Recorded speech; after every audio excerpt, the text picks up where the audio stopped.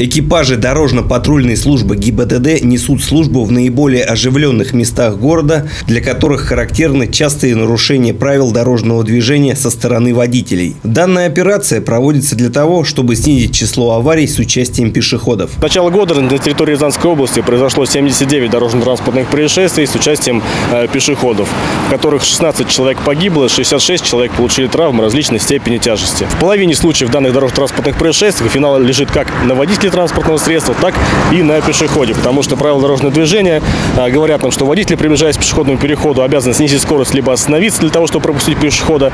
В то же время пешеход, подходя к проезжей части, должен убедиться в безопасности своего перехода. Большинство пешеходов стараются соблюдать правила дорожного движения при переходе дороги. Это не только дань соблюдению установленных правил и законов. В первую очередь рязанцы думают о своей безопасности. Вы дорогу по пешеходным переходам часто Конечно, переходите? Обязательно. Мне скоро сто лет, и я берегу свою это, оставшуюся жизнь. Понятно. А вот в свою очередь водители как вас пропускают или нарушители встречаются? Ну, бывают они, некоторые проскакивают. Или прозевали, или что, не знаю. Я сам водитель, поэтому я стараюсь это не нарушать. На автодорогах города большинство водителей соблюдают правила дорожного движения и уважают пешеходов. А Люди разные, как водители, так и пешеходы. Все разные. У каждого свои приоритеты. Все нормально, все хорошо.